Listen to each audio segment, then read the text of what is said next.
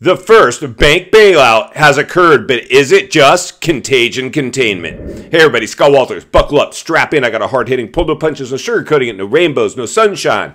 Just gonna give it to you, and give it to you straight. We got a good one to unpackage today, my friends. You can't dream this stuff up. Just when you think it couldn't get any more weird, well, buckle up and strap in. That's exactly what I am seeing out there. If you're new, please subscribe. Subscribe right away. Never been a more important time in U.S., if not global history, to get centered and surrounded with like minded people.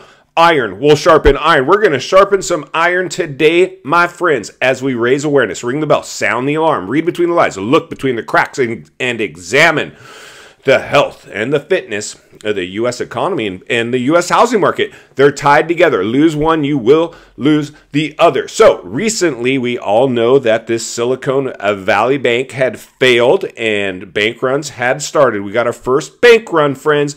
This is not a good sign of a healthy economy. Let me just be the first to communicate that. Anytime a big bank experiences a bank run, we should probably get a little worried. You know, I and I want to thank everybody who supported my recent video around this whole bank run scenario and the contagion uh, component that's now uh, going vertically or horizontally or whatever right along with it. This is the deal now. I just saw reports, and I know most of you have as well. That's why we're going to go ahead and cover this right now is Janet Yellen apparently has announced that they're going to uh, bail out this bank, a bank, a bailout. So that is not a good sign. And here's the challenge: this is not, this is not, this is not so much about a bank bailout for the for the government bailing out this bank as it is to contain contagion.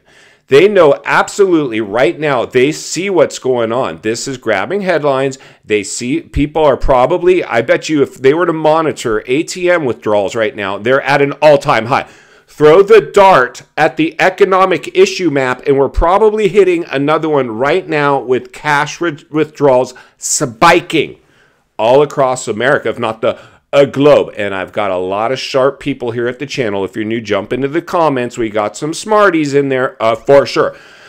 Our resident uh, subscriber and friend of the channel, a real estate attorney, has sent me some pretty shocking stuff that I should probably cover. But, you know, some people have a pretty, pretty big take on what's actually going on this is much bigger than uh, banks failing. This is uh, so a lot of people think this is all orchestrated, and there's some pretty legitimate facts or scenarios to support, you know, exactly that. There's something possibly sinister, much bigger going on. Uh, we will cover that if and when needed. We're going to go ahead and just tackle these issues and meet them head on. And the head on issue that I believe we're seeing right now is contagion containment efforts.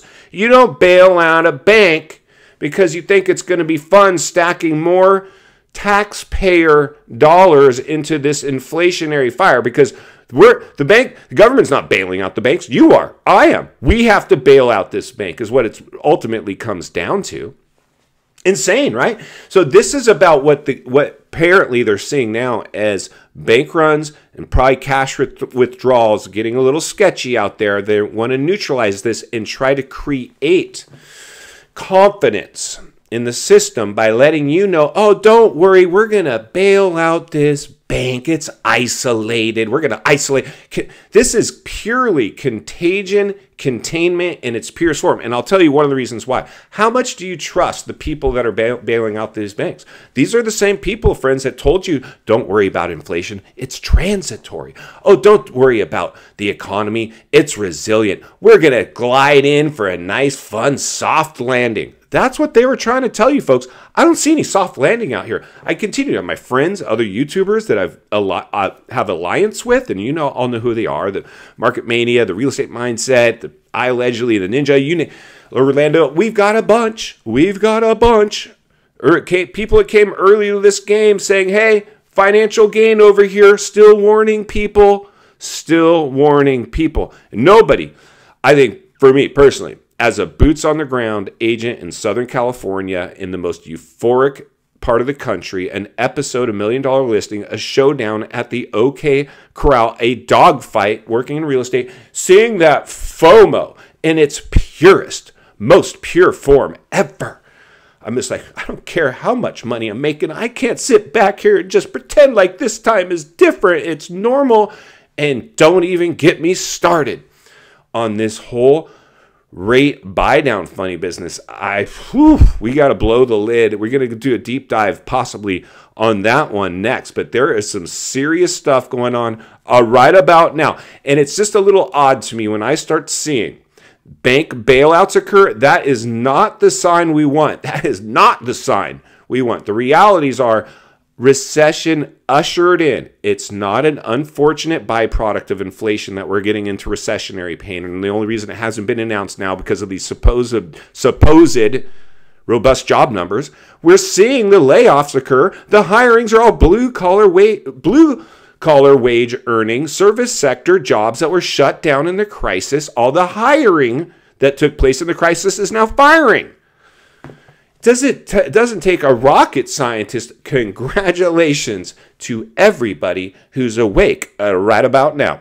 In final thoughts, I come to you as a friend, as a content creator. Somebody wants to see you not only win in real estate, win in life. Understanding when you see this is what is contagion containment attempt. Just if you believe inflation was transitory, then you can believe that this bailout has anything to do other than contagion containment. I'm willing to bet, if I was a betting man, which I'm really not, cash withdrawals are spiking. They see what's going on immediately. This is just a day or two after the announcement of the failed bank and the bank runs. They're now announcing bank uh, bailouts.